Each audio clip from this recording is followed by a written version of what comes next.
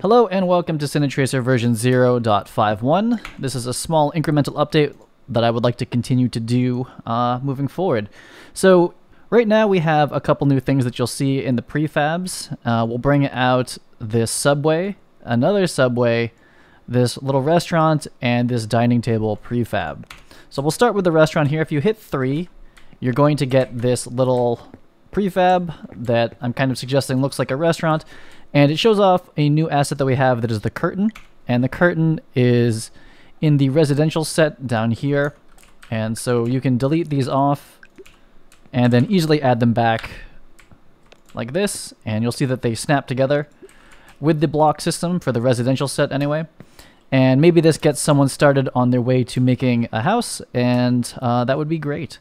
Moving on, we have some new subway stuff. So we're going to hit 1 now and bring this out. And this will show you how to assemble a subway using the new subway pieces, or you can just literally use this one. You can find all this stuff in the commercial tab now. This is made up of the subway floor, the track, uh, these new walls, the column, and we can grab actually the stairs now and the train. And if you want to add a train to this, you can hit 4, and it will pretty much snap in there correctly.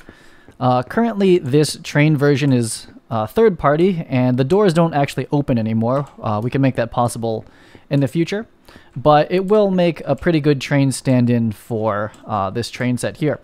If you want to continue building out your train tracks, if you run under here and you hit one again, you'll bring out another one of these trains, and then you can hit that. So we can keep linking these together. I'll do one more down here. Hit one, back up, and it perfectly snaps together. I'm going to hit Y, and I can kind of jump up through here. And now we have a pretty long train track all pre-assembled with our train in it. You can keep adding trains if you want. And I'll show you the last prefab down here. We're going to hit uh, 2, and you'll see that it's already trying to snap it into place, and we're just going to back up a little bit here, over, and now we have essentially the end of the train station. That's kind of what this was modeled after. And we have a little room back here. Like this, doesn't really go anywhere. And uh, this is a new staircase that still needs a little bit of work, but uh, we released it just so people could try it out. And we have it doubling back on itself. And again, you can really easily make your own version of this or start from this and start extending it. Um, another note to remember is that the commercial and urban stuff snap together really well where the residential stuff um, has its own height, essentially. This is 300 tall, these are 400. So you kind of want to stick with them together. But for instance, if you wanted to fill in this hole that gets made like right here, you could hit Y. I'm going to go down under here. I'm going to come back out and I'm going to hit 1. You'll see that this wall snaps perfectly into that. And you can fly back up here. Y again. And we have capped that hole. So that is most of the content update here. We also fixed something with the rain that was kind of buggy and we're slowly fixing uh, little bugs that are happening from this last big release with 0.5. One thing that's really important to check out is a new setting here in settings and it's a different size. We're going to eventually update this menu quite a bit, but we actually have resolution scale now. And what's basically happening is when, when I'm in windowed full screen, we're actually playing at full resolution, even though it says that. This resolution thing only really works if you're in windowed or full screen, which you may have noticed.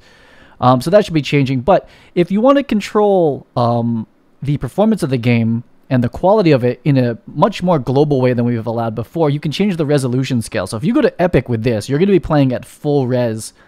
Um, which is actually not this resolution. This is the screen resolution. Um, this is the resolution scale for the game. So if you want slightly better performance but a slightly blurrier image, you can start to crank these down. And this will do a significant amount. I even play in high because I'm actually recording in 4K right now. So it's, it's pretty heavy on any computer to do that. So I play in high here and it does a big difference. So if you're on a lower end computer, definitely try going to medium. Low is really low, but uh, we can go back into uh, medium and see if we can tell the difference here. It's a little bit blurrier. It's it's not even that bad. And I didn't save, so everything's gone. But that's the quick update for version 0.51. I'm trying to do more frequent updates for content, little bug fixes, etc. And uh, I'll see you guys on the next video.